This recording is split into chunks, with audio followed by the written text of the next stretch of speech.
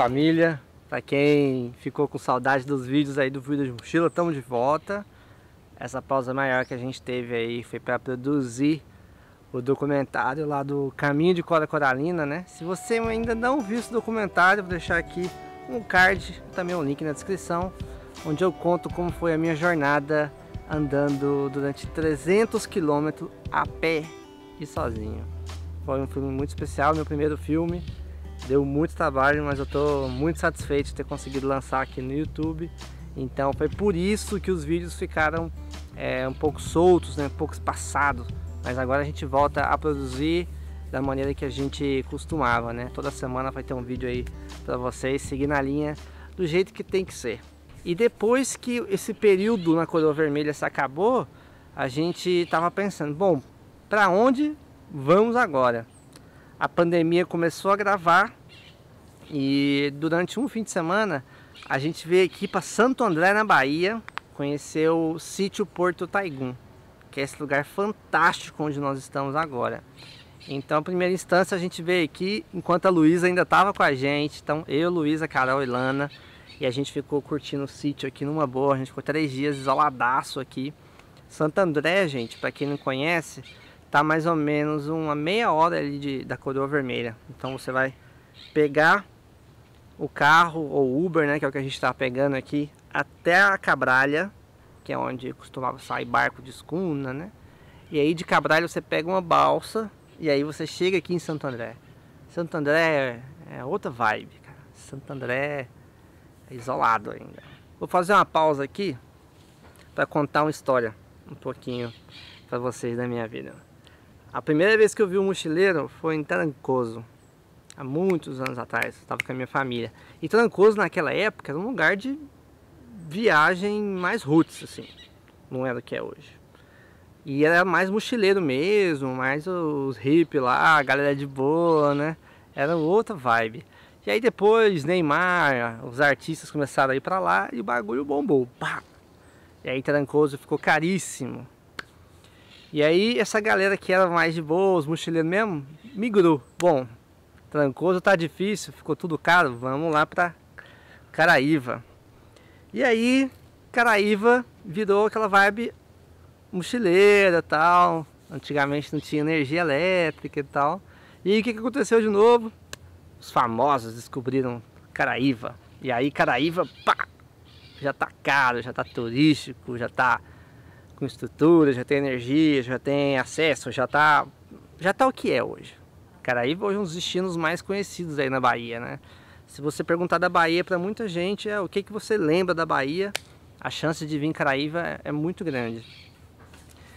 E reza a lenda que depois que Caraíva lotou, ficou esse lugar caro, essa galera veio para cá, para Santo André. Assim, então hoje eu vejo Santo André assim como um refúgio. É um refúgio da galera que gosta muito de natureza, que não vai ter badalação lá de Arraial da Ajuda, de Caraíva, nada. Que é mais roots, cara. A praia mal tem as barraquinhas e é um lugar isolado. Então, nesse período de pandemia, a gente falou, putz, vamos lá para Santo André e aí de lá a gente toma as nossas decisões para onde a gente vai. E então, depois que a gente conheceu o sítio Porto Taigum, a gente, putz, cara, vamos, vamos lá, vamos ficar uma semana lá no sítio Porto Taigum, uma semana de boa em Santo André, curtindo a natureza, curtindo o rio aqui. E depois a gente escolhe um lugar para passar mais tempo. Porque na situação que está indo da pandemia, a gente não vai conseguir ficar deslocando e a gente também não quer ficar se deslocando. A ideia é escolher um lugar ficar lá mais tempo. Então, depois aqui de Santo André, a gente vai para Cumuruxatiba. A gente alugou uma casa lá, a Carol segue viajando com a gente, a gente se despediu da Luísa. Luísa voltou pro Recife. E vamos nos juntar. Eu, Lana, Carol e o Tomate, que é outro amigo também que o Mundo Mochileiro trouxe aí. A gente vai se juntar nessa casa, todos nômades digitais, todos trabalham pela internet. E a gente não sabe quanto tempo vai ficar lá. Alugamos a casa a princípio um mês, Mas se essa pandemia aí agravar, continuar aí nesse ritmo, talvez a gente tenha que ficar muito mais tempo lá. A ideia lá é curtir uma prainha de vez em quando, bem de boa, manter o isolamento.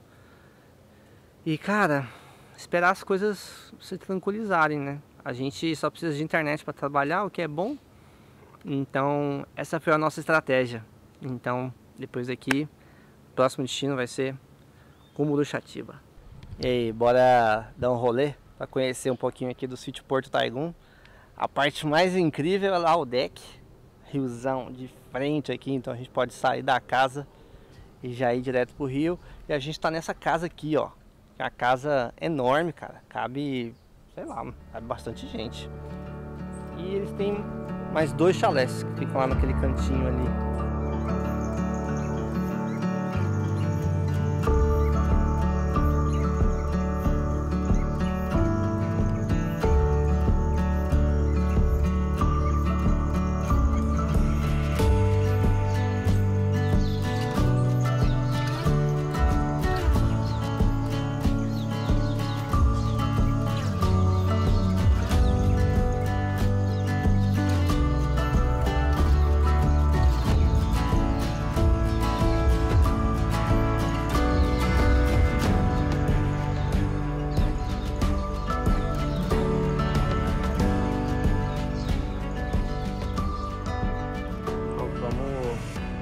Vocês aqui a central de comando. Lana já está ali, trabalhando. Central de comando. Aqui também fica o meu computador e quando a Carol está trabalhando também, ela coloca ali na região. Fica os três aqui. Vira tipo lan house dos nômades.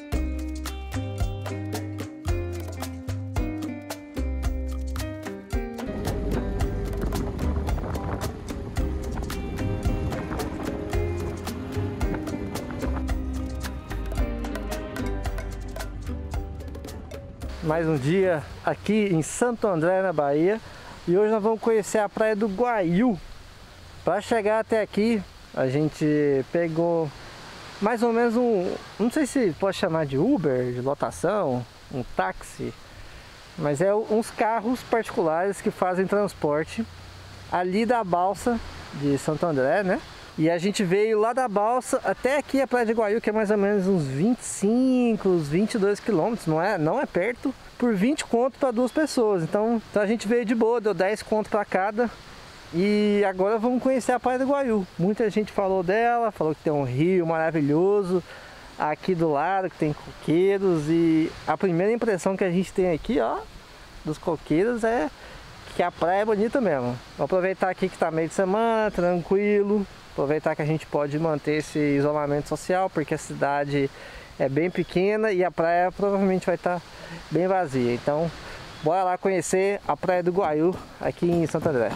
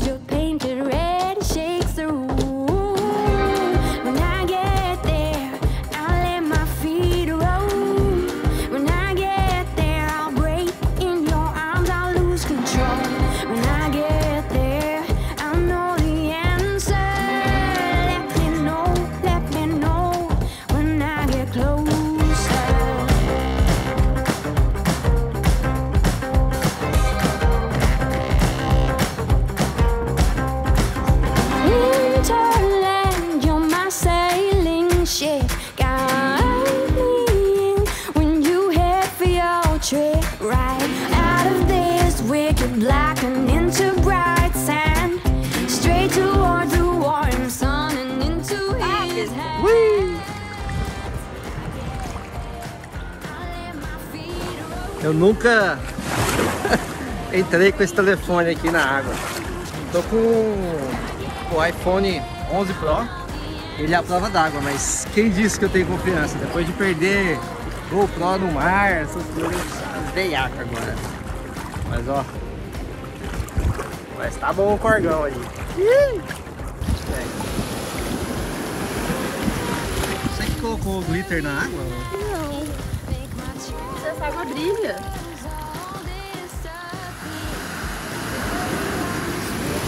Ó, a mão aqui. Interessante.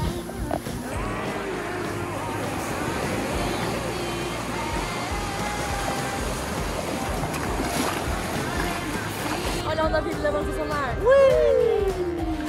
celular é a prova d'água pela primeira vez. Ai, Você vai ser que nem uma criança com esse celular. né? Melhor que o GoPro. GoPro, eu perdi três GoPros, eu não aguento mais.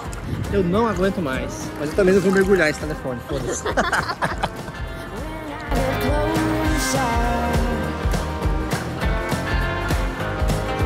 Let me know when I get closer. Open up the sky for me.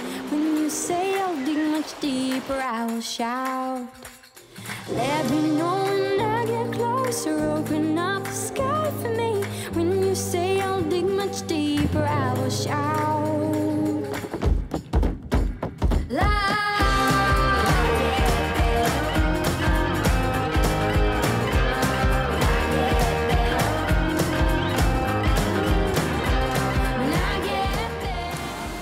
Paramos aqui no restaurante da Miúda e a parte que vocês mais gostam é o cardápio.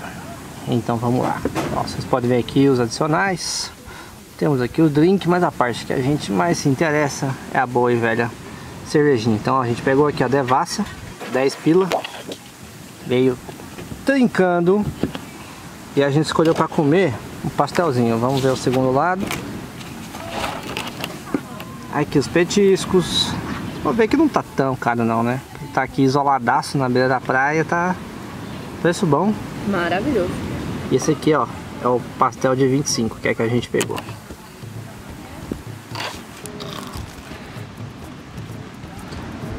Pegou a pimenta? Vai, mas vai sem medo. Olha o camarão lá dentro, rapaz. o próximo é meu.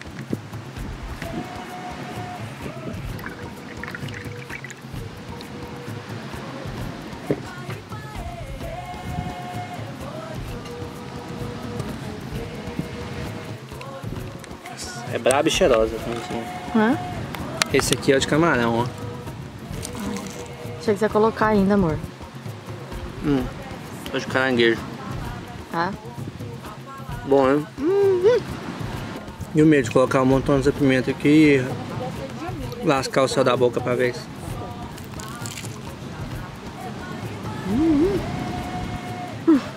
Pouco recheio. Hoje vamos gravar o vlog em espanhol. Sim, por favor. Mira, saímos acá de la playa y Que placha que eu? eh, lo que pensamos es que a mí una cosa que más me gusta acá en Guayú es que está muy cerca del río. Entonces, si tú quieres ir a la playa, listo, está cerca. Si quieres ir al río, está cerca también. Entonces, es muy bueno. E esse não dá pra falar espanhol, vai ficar muito zoado. É, eu tava conversando com o pessoal que tava fazendo a, a saída do rio pra praia, né? Então quando vocês viram nas imagens do, do drone aí, tinha uma escavadora fazendo e depois tinha um pessoal que era local que tava fazendo a saída lá com, com pá mesmo. Aí eu fui lá perguntar, e aí, por que, que vocês estão fazendo essa. Por que, que o rio tem que encontrar o mar? E eles falaram que era por conta da oxigenação. Quando o rio não encontra o mar, os crustáceos que ficam no rio, eles morrem. Então é legal que ele estava fazendo essa transposição aí para preservar a vida marinha e a vida do rio. Achei bem da hora. Fica aí de informação para vocês. Vamos dar um rolê agora aqui no centrinho de Santo André, que é a cidade mesmo. A grande Santo André, uma vilinha muito pequenininha. É, eu vou mostrar para vocês um pouquinho aqui do centrinho e vamos voar o drone aí, né? Queridão drone para ver a praia também, a praia que fica aqui em Santo André, que é a praia mais próxima, assim, a, a principal aqui da vila.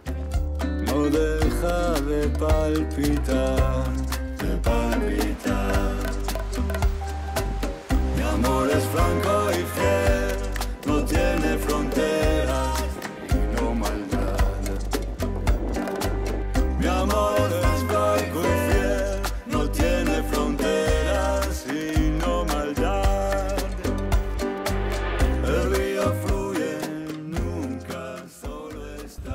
Santo André é uma daquelas cidades que dá vontade de ficar de vez. Eu que adoro uma cidadezinha de interior, ia ficar bem tranquilo aqui. Menos de mil pessoas moram em Santo André. Então essa vibe ela tá preservada por mais tempo.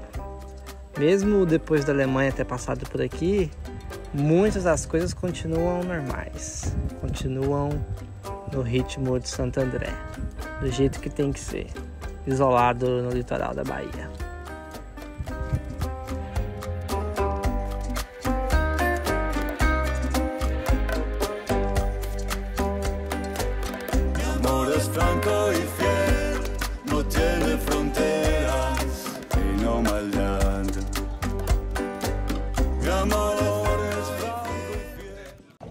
Agora sim, família, hoje a gente conseguiu, um- vai rolar um passeio de barco privado aqui, mantendo essa coisa do distanciamento social, então sem aglomeração, porque o barco vai ser todo nosso. Olha ele chegando lá, ó. Esse aqui é o barquinho que vai chegar, levar a gente para umas ilhas, vamos conhecer alguma parte aqui mais interessante de, de Santo André. No melhor estilo, né, meu amigo? Quem não, quem não quer ter um barquinho privado aí para dar um rolê em Santo André, né? Simbora sim! Maré, lê, lê, lê, maré. Oxu, maré, lê, lê. Oh, Oxu, maré, lê, lê, lê, maré. Oxu, maré. Oh,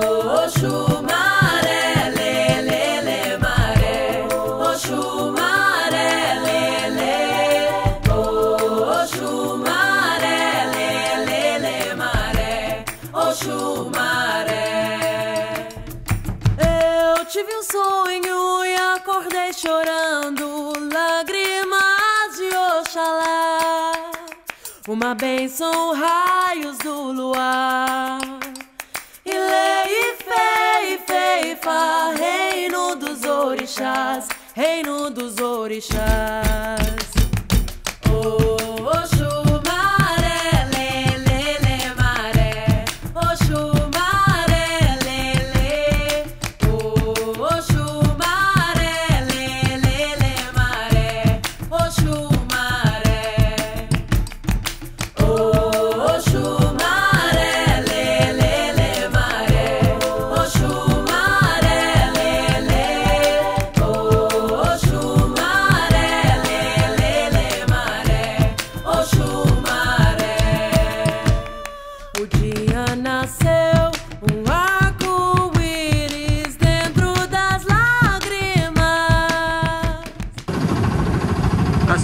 parecidas agora.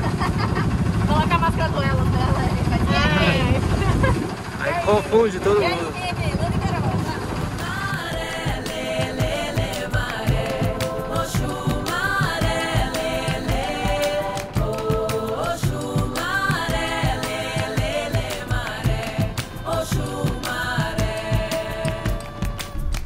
E Carlindo, você que é local aqui de Santo André, nascido e criado, o que, que você acha da vida aqui de Santo André? Assim? Que, que a coisa que você mais gosta aqui de viver em Santo André?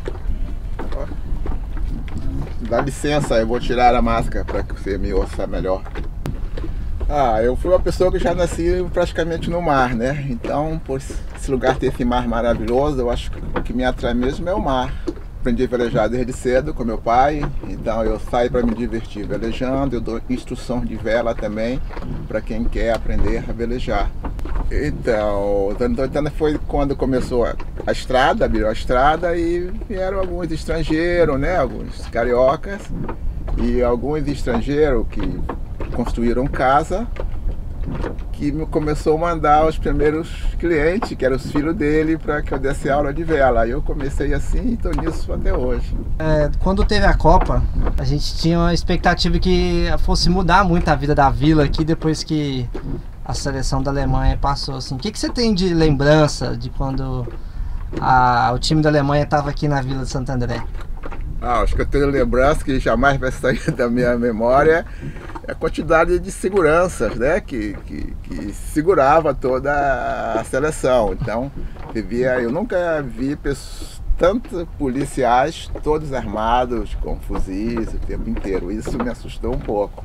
conheci cidade grande, né? Outros lugares, até com praia, tipo Salvador, Vitória e tal. Mas hoje eu tenho certeza que eu não quero sair daqui. O rolê de barco com Carlindo foi uma baita surpresa. Diferentemente desses rolês que a gente só vai para curtir alguns lugares bonitos, ali a gente teve uma imersão. Tá no barco escutando as histórias do Carlindo que nasceu e cresceu e vive no mar, vive em Santo André, é uma maneira de você se transportar para vários cenários, vários lugares ao mesmo tempo. Na perspectiva de um local, principalmente como Carlindo, é sempre a melhor maneira de conhecer um destino. Então tá naquele barco ali escutando todas as resenhas de coisas que aconteceram com Santo André no passado, no presente, é sempre essa maneira linda que a gente tem de conhecer um destino. É por isso que esse passeio de barco fechou com chave de ouro a nossa passagem por Santo André. A gente vai, mas o nosso coração fica um pouquinho ali no mar, um pouquinho naquele barquinho e um pouquinho naquele cenário paradisíaco.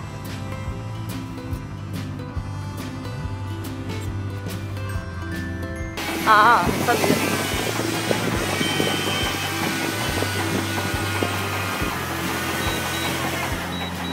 Ai, meu coração. Nossa senhora, quer matar?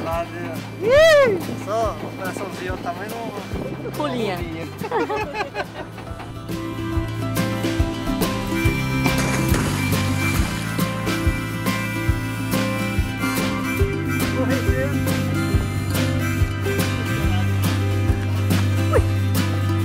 Mordar, morre, né? Deve ser.